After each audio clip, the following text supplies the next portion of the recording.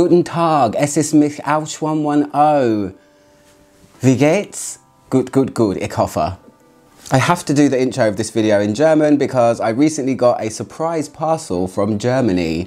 If you guys didn't know already, I recently set up a mailbox thing where if you want to send things, you can. I asked you guys, some people said that, that would be a really good idea, so I did it. Recently, I went to check if something was there, and there was. There was something there. So I'm gonna open it on camera. I have not opened it, I don't know what it is, but it came from the lovely Hinka.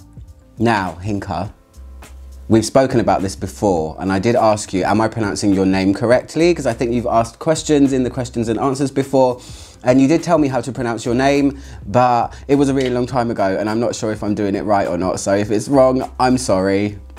But before I open the parcel, I just have to say one thing. Vielen Dank, dass Sie so nett sind und mir, mir Vielen Dank, dass Sie noch nett sind und mir ein Paket aus Deutschland geschickt haben. Du bist der erste Mensch. Also mal sehen, was drin ist. Yeah? Shall we? Okay, let's open it. I will be mindful not to show either of our addresses on there. I mean, well, the address is my mailbox. If you guys want to see it, it's going to be in the description anyway. But I got some blotters. I don't even know if it is perfume. It feels like it might be. So I just want to see what it is. Let's see there's a letter. There's a letter too. Let me see. It says, Hi Thomas. May you find these interesting. Maybe you already know all of them. Anyhow, have fun smelling them. Henka. Uh, I have listed them again. I'm not going to read what's on the back. I'm not going to read the list. I'm just going to see what they are and um, we'll just go from there. So there's five things in here. Sorry about the crinkly ASMR horribleness. Okay, this one is Maîtresse by Agent Provocateur. I spoke about this recently in a video. Is that why you sent it to me? I spoke about when I went a bit crazy and bought two bottles of the Agent Provocateur pink one. Maîtresse is the gold one, which I don't think I have smelled or even remember. So let's smell it and see what it's like. Okay, it's the gold one with the red, red stuff all over it. Am I about to fall in love with this one as well? Oh, I kind of like it. Again, this one feels vintagey. It feels vintage in the way that Agent Provocateur do vintage. They're really good at that. They're really good at making things feel a little bit burlesque. This one's a bit tougher than the other one. It's not as soft. Hmm, I like it. It's a little bit syrupy and woody and it feels like white flowers and maybe a couple of roses as well, but it feels more like a white floral than it does a rose. I'm gonna put this on my skin, Hinka, right? Why not? Why not just do the, the full hog? I'm not wearing anything on my hands right now. Oh, this reminds me of when I was a child and I would, my mum would have tiny little samples of things from, I don't know where, Avon maybe, probably, uh, and other perfume companies and this is the sort of thing that they smelled like in the 80s. So this feels kind of 80s to me. It's a little bit brash and I like that. I don't mind that Agent Provocateur fragrances are brash. It's kind of what I like about them actually. But let me see what the notes are and um, I will make an informed decision. But to me it feels like a kind of scratchy woody smell with some white florals and a syrupy vintage-ness. It's kind of golden, dark golden smelling. Mmm. Okay, so this is Ylang Ylang, Lotus, Osmanthus, Jasmine Sambac. I did say it was white flowers, Iris, Violet Leaf, and then Suede Musk, Amber, Cedar. So, yeah. It's got kind of the same sort of powderiness as the pink Agent Provocateur. I don't think it's as nice, but I'm glad that I'm smelling it. So thank you so much, Hinka. Danka, Danka. Now that I've read the note list, and sat with it for a minute, I definitely can feel the iris. The iris is what's giving it its powderiness, but it's not clashing. It's working in tandem with the jasmine to keep it both sharp and have some softness at the same time. So I like it. I want to see what's next. I'm really excited. I just want to smell them. Okay, let's see what it is. This one is Mahora by Guerlain. Why do I feel like this is an incredibly special fragrance? Isn't Mahora a really old Guerlain? oh, I feel like I might have a little bit of liquid gold in my hands right now. Is it, is it not the one that's got the super pointy lid? Oh, I'm excited. Oh gosh, okay. Okay, Try and calm down, Tom. Try and calm down. Oh, this is so good. This is really, really good. This is actually not a million miles from the Agent Provocateur one, but just in a different league. Oh, what am I smelling here? This is another kind of golden, woody, floral smell. It's not a chypre though, it does feel a little bit more ambery. It feels a touch animalic and it feels like a really well put together floral accord in the realms of, you know Chanel number 5 has lots of flowers in it and it feels like one. This is so nice. I can't even imagine what this is going to be like on skin, so I'm just going to have to try it right now. I wonder why she chose to send me this. Why did you choose to send me it, Henka? I'm sure you can tell me in the comments. Oh, this has got, it's almost like a um, caramelized, almost burnt or very dark woody smell along with lots and lots of flowers. Yeah, it almost feels like burnt sugar in there somehow. Definitely very beautiful, vintage. I would say elegant, but it's not. This is kind of edgy. Ah, oh, it reminds me a little bit of, it's very autumnal. It feels like, it's a bit autumnal leaf, campfirey, flowery. I really need to know what's in this, but I definitely think it's cool. What is that burnt smell? I'm really intrigued. It is the one with the funny lid, I was right. So let's see what's in here. So it says, almond blossom, green notes, orange, tuberose, ylang ylang, jasmine, neroli, sandalwood, vanilla, and vetiver. So the floral heart thing is what I was picking up straight away. Chanel number five is a lot about ylang ylang, so that's probably why I made that connection. I don't know where the smokiness is coming from, maybe vetiver, but yeah, this is, oh, this is kind of like in the, in it's like a love child of Fracas and sort of Chanel number five-ish, but much punchier. It's scratchier. The woods in here are giving it a scratchy, dark, autumnal feeling. And it's pretty cool. It's, it's the tuberose is really starting to come out a little bit more now that it's on my skin and it's giving it that fracas feeling, that sort of Robert Piguet vintage tuberose that is not sweet in the slightest, which is the kind of tuberoses that I like. So this is one of the only Guerlain tuberoses I think I've smelled off of the top of my head. I might have smelled some more, but I don't recall smelling any other vintage tuberosy things by Guerlain, and this doesn't feel like a Guerlain to me. Very cool. I'm going to smell the next thing. So this one is Violetta. Ooh.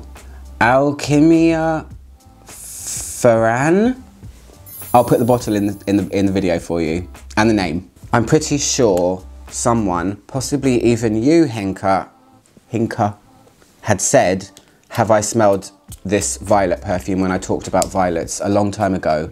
Mmm, baby powder, violets. This is playful. This smells like, recently I tried a perfume called Boys by Freddie Albrighton and this has given me that same really youthful, almost not Candyland Violet because it's too powdery for that. It's not like Insolence by Guerlain, but it is very soft, baby powdery violet. Mmm, this could be a Guerlain. My mind is all over the place today. This one, I've smelled things similar. Uh, it's definitely very pretty. This is like a wear it to bed sort of fragrance, you know, it's really comforting and familiar and kind of a little bit soapy violet, but it's definitely soft. It's kind of like one element of Kenzo flower. I like it. Let's see. It's not my favorite of the three, but I like it. This one is Lavande Velour, and it's another Guerlain. Oh, I'm being spoiled with the Guerlains today. Which one is this? Lavande Velour, is it part of their... They've got so many lines, Guerlain. I mean, how do you even know where it comes from? Well, some people know, I just don't know. I've not tried this before. Mmm. This is really nice. This with with lavender in perfumes, to me, it usually overtakes most of the time. It is in here too, but this smells like lavender when it's already started to dry.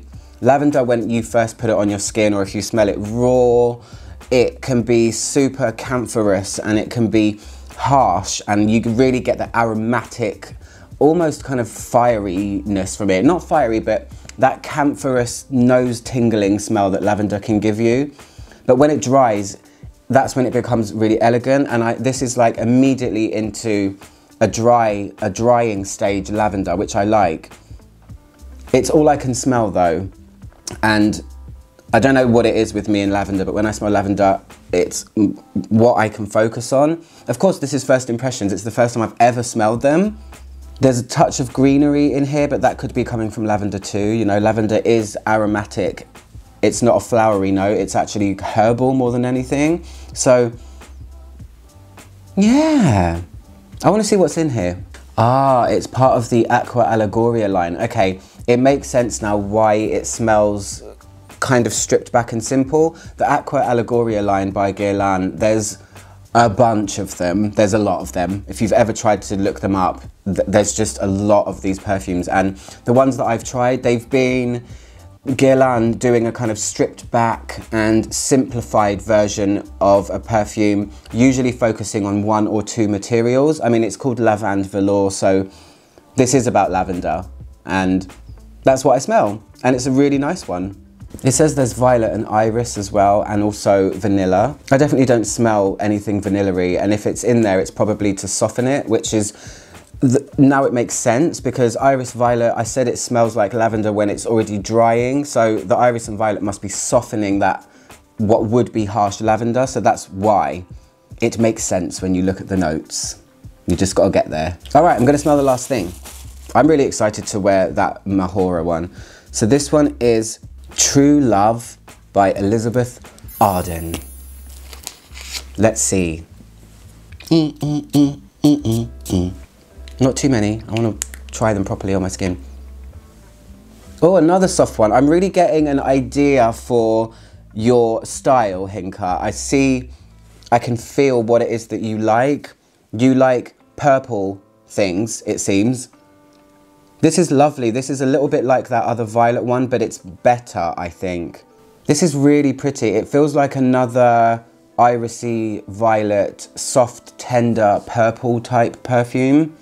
It feels musky as well. It feels like a, a, gentle white musk. It's a clean one. It's more complex than the other one.